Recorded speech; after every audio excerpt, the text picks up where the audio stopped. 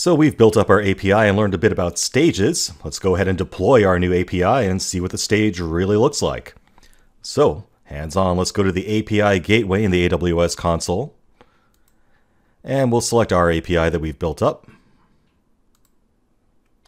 And now we're going to go to Actions and say Deploy API. Now we'll get a drop down here for the deployment stage. Now we should already have one in there that we created way back in the beginning, so we'll go ahead and use that prod stage that we created. And click Deploy. So here we have the stage editor. Now we've been here before, but you should see a lot of things that we've talked about in the stage overview lecture. So when you have some time, take a look around and take a look at what's in here. You know, we talked about caching and throttling, and that's all in here too. So worth poking around just to understand where it all lives. But for now, we're just going to go to SDK generation. And for the platform, we're going to generate JavaScript because that's what we're using in our course. And we're going to click on Generate SDK. It's just that easy. And we have automatically downloaded a zip file containing an actual JavaScript SDK for the API that we've defined for our chat application. Can't get much simpler than that, right? So let's go ahead and take a look at it. Let's unzip that. And take a look. So you'll see that we have a single directory called API Gateway-JS-SDK, and underneath that, there's a README file, as well as a lib directory, and this API G client.js script file. Now that API G client is just generated just for your API, and if you're interested, you can open it up in a text editor and poke around, but it's really not that interesting. It's mostly just boilerplate stuff, so not terribly educational to look at it, really.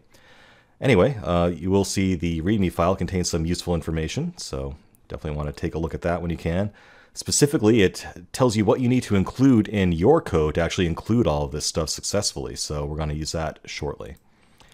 All right, so we have this all sitting there and waiting to upload into S3, so let's take care of that. Back to the console, let's go to S3. Navigate to the bucket for the course that you created. And click on the JS folder. And let's go ahead and drag and drop that in here. That entire directory that we just got. So we're going up to the API Gateway JS SDK folder and we're going to drop that in there. Upload. All right, so that's where our example expects to find that folder. So that's in the right place. Make sure it's where it belongs. If you have trouble later on, make sure you double check the location of these files. So now that we have that there, we can start changing our site to use the new API client instead of hard coding all this Ajax stuff. So back to the resources for the course. We're going to go into V9 here. That's where we're at. And let's open up under the site folder, under JS, site.js, and whatever editor you like. And let's take a look at what's new in here. So in previous versions of site.js, we had to define the endpoint that we were going to use to make the API calls, and we had to do that because we were using jQuery to make the AJAX calls. But now that we have a generated client, it actually has the URL of our API built into it. So we can just use that client now and not have to worry about my API URL being different from yours. That information is no longer part of this client code, which makes life a lot easier. So on line 9, you can see here that we're actually creating the API client itself, and we're going to use this now instead of jQuery AJAX functions. And you'll find the first use of that new client down on line 12 here, where we actually get the conversation list. Now you see that conversations get takes three parameters. It's not really a very interesting example of it because we're not actually using any of these parameters because get doesn't actually require any inputs, it just returns stuff. But if you were going to pass things in here that were useful, that first argument would be the parameters to your API. And the idea of passing in the parameters to the function itself may seem a bit circular, but it's not complicated. Any URL parameters or query string parameters or headers that are defined in the method request in API gateway can be defined here.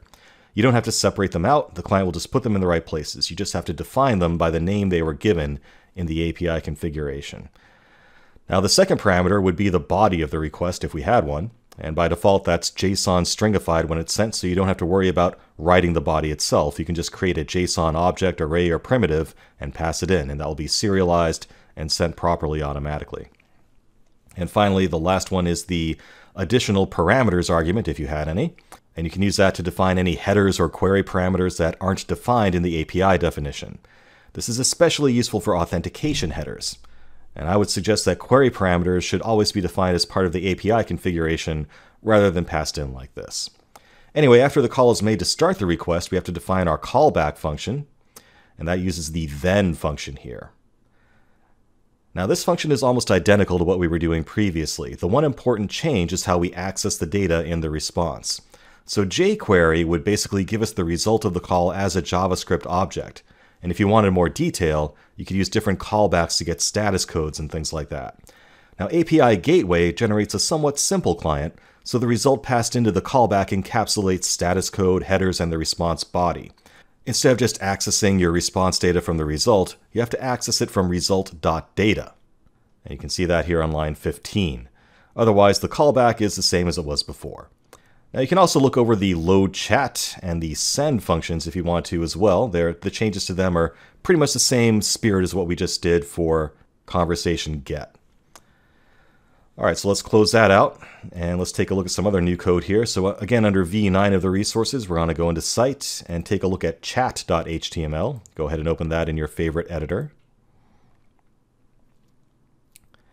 And let's take a look at the changes here. The changes are very simple. All we did was add all those script tags that were referenced in the README file down here at line 54. So this is just coming out of that README file of what to include and in what order. You know, straight up copy and paste there. And the change to chats.html is exactly the same, so no need to open that up because that's all that we changed there too. So let's go ahead and upload all this new stuff into S3 as well. We're going to take everything under site and upload that into our folder here. So let's go back up one to the root of our S3 bucket here, and we'll say upload, and drag in everything underneath the site folder in there. So that should replace chat.html, chats.html, and the new JS site JavaScript file. Let's refresh this, make sure that it took. Okay, yeah, those look like they were just uploaded, and we have the new site.js as well. So looking good. All right, so let's browse around a little bit, starting with uh, chats.html. So as we've done before, we'll go back to our static site here, and we'll slap on a slash chats.html. Looks like it's working, so uh, let's let's see. Here's the chat list. We have a conversation with Brian and a conversation with Frank. Uh, let's load one up. Start typing. Hello world. Hi Frank. How you doing? I guess I'm student now. Uh, hello Frank. Hey, it worked. Cool. So it's still working. Uh, the application seems to be working just fine using that generated SDK for the client code, so that's awesome. Now there's one more useful artifact that API Gateway can generate for us as well. Let's go back to the API Gateway in the console. Doop. API Gateway. And let's select uh, Stages under our API here. And if we select our stage, you can see there's an export tab here. That sounds interesting. So let's go ahead and click on that. And yeah, pretty cool. So you can actually export your API as Swagger, which lets you use it in other tools that are built around the Swagger definition of your API. Let's go ahead and say export as Swagger, and we'll use the YAML option for that. And that automatically downloaded a YAML file that defines our API. That's kind of neat. You'll also see that it has a copy of that information in this window down here in the actual UI, and that is the YAML definition of our client API gateway. Uh, yeah, so let's go ahead and copy that and see if we can do something useful with it. So Control A, Control C to copy. Let's head on over to editor.swagger.io.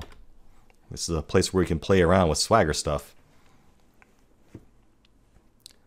So in the editor on the left side here, let's go ahead and replace everything, Control A, Control V, with our YAML file.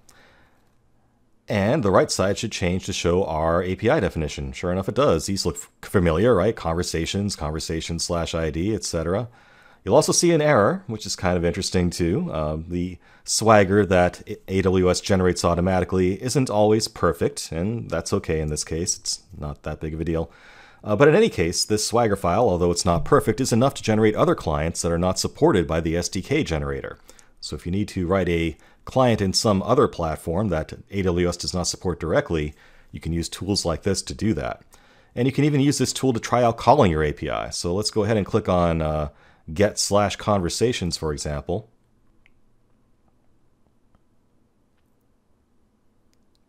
And if we scroll down here, you can see that it actually did something. It's showing you the model associated with that call, and there's this big old try it out button. So let's go ahead and try it out. And then we can say, well, there's no parameters on this. Let's hit execute.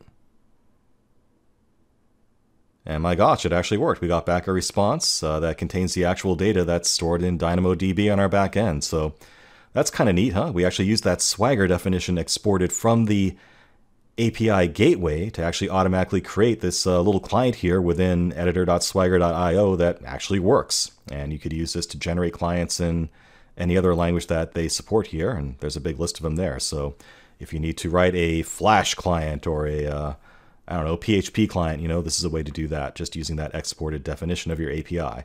And again, that's an example of why it's important to have a well-defined API so you can generate clients like this automatically. Pretty cool.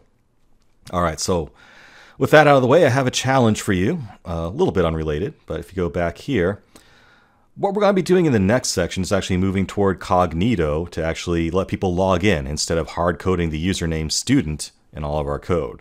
So we've successfully converted our API away from using Lambda proxies.